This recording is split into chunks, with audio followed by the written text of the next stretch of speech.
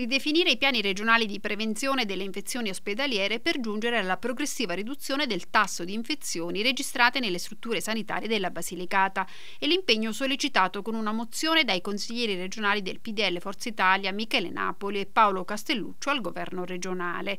È un tema molto sensibile, ha sottolineato Napoli, perché ha effetti devastanti sul servizio sanitario. Chi è infetto sarà costretto ad ulteriori cure e questo genera un forte impatto economico. A pesare sulla bilancia le conseguenti azioni di risarcimento danni, stimate da uno studio del Sole 24 Ore in 59.000 euro pro capite. Citando i dati diffusi dal Ministero della Salute sulle dimissioni ospedaliere riferite al primo semestre 2015, Napoli ha fatto presente che in Basilicata si registrano 328 casi di infezioni ospedaliere.